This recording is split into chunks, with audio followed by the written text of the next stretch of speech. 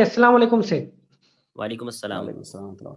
जी शेख मेरा सवाल था कि अगर जैसे बी, आ, बीवी ने गुस्से में आ, खुला बोल दिया और फिर पाँच दस मिनट बाद वो बोली कि नहीं वो तो गुस्से में थे तो अभी कुछ ऐसा नहीं है। आ, जिस तरह से हमारी शरीयत ने मर्द को तलाक देने का हक दिया है कि अगर वो बीवी से जुदा होना चाहे तो तलाक दे दे।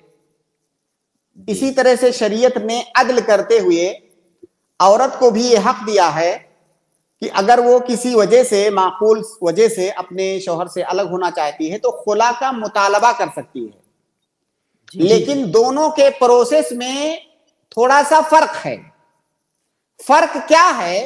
कई एक फरूक हैं लेकिन यहाँ पे जो। जानना आपके लिए ज़रूरी है वो ये कि अगर शौहर ने बीवी को तलाक बोला तो यहाँ पर बीवी की रजामंदी का कोई दखल नहीं है कि बीवी कहेगी हाँ मैंने आपका तलाक कबूल किया तब तलाक होगी। नहीं। शौहर ने तलाक बोला तलाक हो गई। ठीक है? जी सही। उसके बाद बीवी इद्दत गुजारेगी और उससे शौहर से फिर जुदा हो जाएगी। लेकिन खोला में थोड़ा सा इससे डिफरेंस है। खोला में बीवी शौहर से मुतालबा करेगी कि मुझे खोला चाहिए आपसे। देखिए तलाक में वो मुतालबा नहीं कर रहा है कि भाई आप क्या राज़ी हो मैं तलाक देना चाहता हूँ आपको। नहीं बीवी मुतालबा करेगी कि मुझे आपसे खुला चाहिए। अब शौहर की रजामंदी यहाँ पर ज़रूरी है कि वो कहे कि हाँ मैंने तुम्हें खुला दिया मैंने तुम्हें तलाक दिया।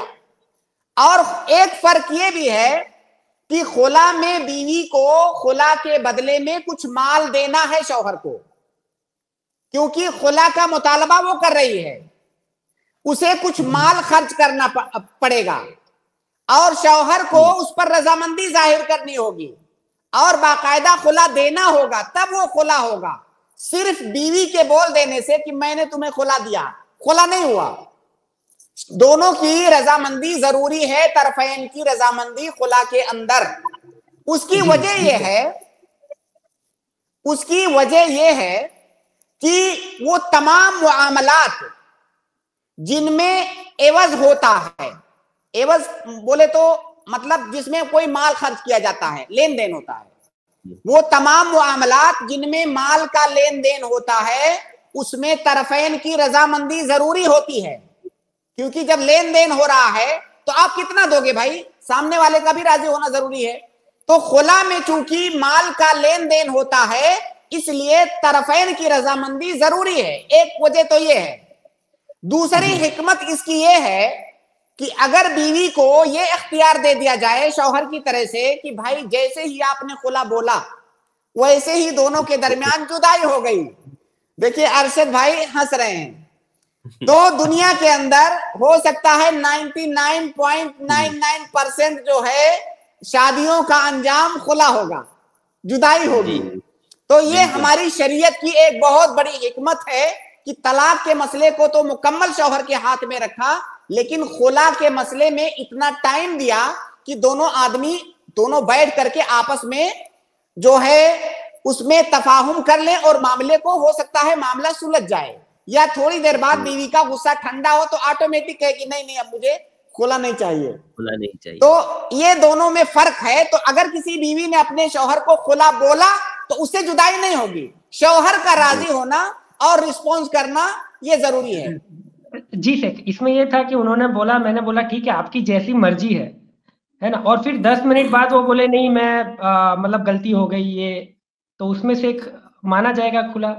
नहीं जैसी मर्ज़ी है कि आपका क्या मतलब था जैसी मर्ज़ी? जैसे एक होता जैसी है मर्ज़ी है मतलब जी।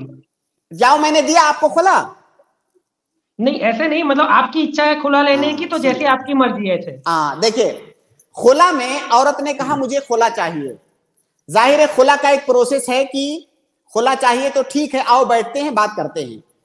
जी। आ, मुझे मुझे एक लाख रुपया चाहिए। बीवी करे नहीं पचहत्तर हज़ार मैं दे सकती हूँ। बात जो है इस तरह होते होते तय हो गई किसी मबलक पर किसी माल पर।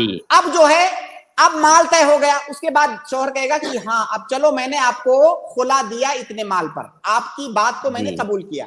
अब खुला हुआ। लेकिन अगर ये हुआ कि मैं आपसे खुला चाहती हूँ चोर करा ठीक है अगर खुला चाहती हो तो चलो खुला का प्रोसेस कर लो जैसी आपकी मर्ज़ी। तो अभी खुला हुआ नहीं उसका माल भी उसके प्रोसेस का हिस्सा है।